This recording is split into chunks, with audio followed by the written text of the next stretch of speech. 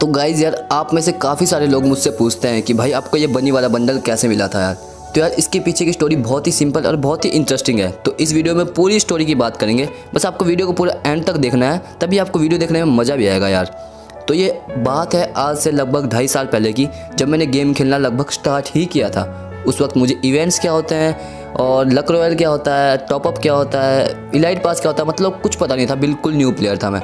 और मेरे पास अपना फ़ोन भी नहीं था। मैं और मेरे भाई मिलके एक फ़ोन में खेलते थे, जो मेरी मम्मी का था। और वो फ़ोन इतना ज़बरदस्त था ना भाई, एक जी बी रैम थी उसमें। मतलब हम तीन भाई मिलके एक जी बी रैम वाले फ़ोन में खेलते थे कि भाई, एक बारी तेरी, एक बारी मेरी और एक बारी उसकी। मतलब जैसे एक बंदा आउट हो गया, दूसरा बंदा खेलता था। और लैग मतलब क्या ही बोलूँ मैं, इतना लैग होता था, इतना हीट होता था। खुद ही अंदाज़ा लगा यार वन जी रैम वाला फ़ोन, वो भी कम से कम दो ढाई साल पुराना फ़ोन।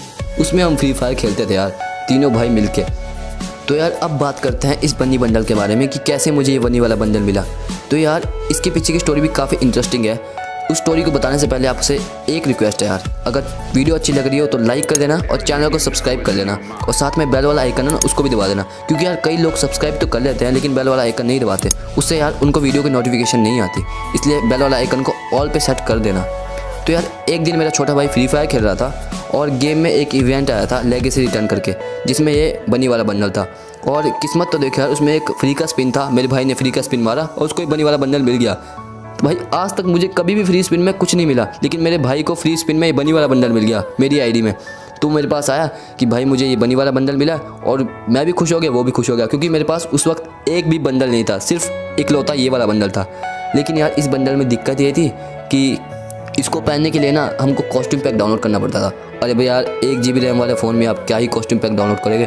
तो मैं इसको पहनता नहीं था। लेकिन उससे लगभग एक साल बाद जब मेरे पास खुद का फ़ोन आया तो उसमें मैंने कॉस्ट्यूम पैक वगैरह डाउनलोड किया। लेकिन फिर भी इस बंडल को मैं कम ही पहनता था, क्योंकि यार उतना खास था नहीं ये बंडल लेकिन जब मैंने वाई ट्रिपल फोर की वीडियो देखी, आप वाई ट्रिपल फोर को तो सब जानते हो मेरे ख्याल से तो यार वो इस बंडल के साथ खेलता था। तो यार मैं बहुत खुश हो गया कि एक यूट्यूबर है जिसके पास ये बंडल है और वो ये वाला बंडल पहनता है। फिर मैंने ये वाला बंडल पहनना स्टार्ट कर दिया। उसके बाद से यार, जब भी मैं किसी वीडियो के थंबनेल में बनी वाला बंडल देखता था ना तो मैं उस वीडियो को ज़रूर देखता था यार, क्योंकि मुझे अंदर ही अंदर बहुत ज़्यादा खुशी होती थी जब मैं बड़े बड़े यूट्यूबर्स को इस बंडल को पहन कर खेलते हुए देखता था। तो जब रैस्टार ने इस बंडल को पहनना स्टार्ट किया ना, उसके बाद इंडिया में ये बंडल बहुत ज़्यादा फ़ेमस हो गया। मतलब बड़े बड़े यूट्यूबर्स इस बंडल को पहन के खेलते थे यार। धीरे धीरे मुझे भी ये बंडल अच्छा लग लग गया और मैंने भी इसको पहन के खेलना स्टार्ट कर दिया और अब मैं इसी ड्रेस से खेलता हूँ यार। तो ये रही इसके पीछे की स्टोरी यार। वीडियो अच्छी लगी तो लाइक कर देना। इस वीडियो का लाइक एम रखते हैं 500 लाइक आई होप आप सब लोग पूरा करा दोगे। अगर हर बंदा लाइक करेगा तो लाइक एम इजिली पूरा हो जाएगा। अब मिलते हैं अगली वीडियो में। तब तक के लिए टाटा गुड बाय